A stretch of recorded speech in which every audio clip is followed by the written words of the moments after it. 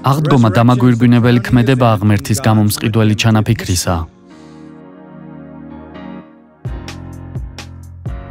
აღდგომა ქრისტიანობის ქვაკუთხედია. ის არის სახარების საფუძველი.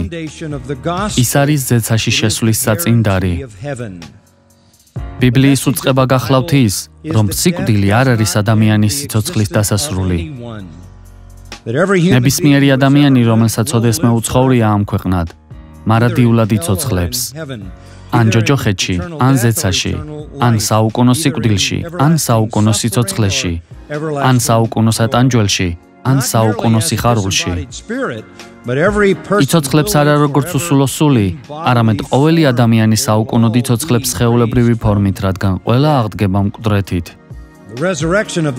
უფალი ესო ქრისტეს აღდგომა საწინდარია ჩვენთვის იმისა, რომ ჩვენ იმისათვის არ აღუდგებით მკვდრეთით, რომ საუკუნო სატანჯველში წავიდეთ, არამედ იმისათვის, რომ საუკუნოდ ვიცოცხლოთ მასთან ერთად. იესო ქრისტეს შეულებრივი კუდრეთით აღდგომა არის ფიცი და დაპირება ყველა მისი მორწმუნის მიმართ რომლებიც ასევე შეულებრივად აღდგებიან რათა დაიმკვიდრონ საუკუნო ნეტარება და სიხარული ზეცაში. ღვთისთან დასწრებაში რათა საუკუნოდ ვემსახურებოდეთ თაყვანს ვცემდეთ მას და ვგრძნობდეთ სრულ სისავსეს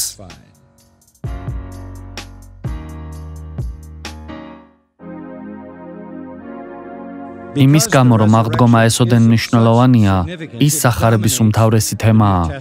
აღდგომის თემა უმნიშვნელოვანესი ხდება მას შემდეგ, რაც მოციქულები იწყებენ სახარების ქადაგებას. აღდგომის შესახებ ქადაგება იწყება საქმეების წიგნიდან და მთელ ახალ აღთქმას გასდევს. აღდგომა მხოლოდ დამახასიათებელი ნიშანი როდია ქრისტიანობის, არამედ მისი უმთავრესი ჭეშმარიტებაა. სახარების უწყების მთავარი მიზანია იხსნას ადამიანები ჯოჯოხეთისგან, რათა ისინი ზეცაში წავიდნენ. სახარების მთავარი მიზანი ისაა, რომ იხსნას ადამიანები მსჯავრდადებისგან და მისცეს მათ საუკუნო კურთხევა. აღდგომა არ არის ეპილოგი, ის არ არის ერთგვარი პოსტკრიპტუმი ჩვენი უფლის სიცოცხლის დასასრულისა. აღდგომა მისი სიცოცხლის მიზანია. აღდგომა სახარების მწვერვალია. აღდგომა ქრისტეს სიკვდილის ღვთაებრივი განმარტებაა. აღდგომა განმარტავს წითელი პარასკევის მნიშვნელობას. აღდგომა ღვთაებრივი გამართლებაა იმ სხერპლისა, რომელიც ქრისტემ გაიღო ჯვარზე. ამ სხერპლის მიერ მოტანილი სიკეთენი სწორედ აღდგომაში გამომჟღავნდა. ქრისტეა პირმშო მკვდართაგან ქრისტეს აღდგომა ჩვენი აღდგომის საწინდარია.